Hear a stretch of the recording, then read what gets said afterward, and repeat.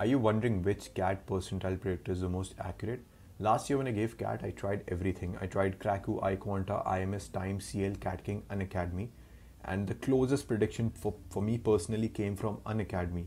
And the other platforms were a bit off. CATKing suggested way higher than the one I got. iQuanta, Time, IMS were off by 1 or 2 percentile. So was Cracku, it suggested a bit lower than the one I got now here's the insight okay? When i averaged out all of these predictions the percentile which i got was the same as the percentile which i got when the results came. So here's my tip okay? Wait for 4 to 5 days. That is when the predictions will stabilize because everyone has submitted their answers. And then look at the range in which you're scoring and the, find out the average of the percentile which they are predicting okay?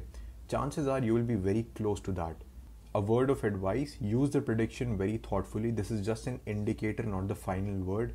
So don't get overly excited if you see a really high percentile and then you decide to buy their gdpi course or don't get overly sad because one platform is suggesting otherwise. Just average it out and wait for the final results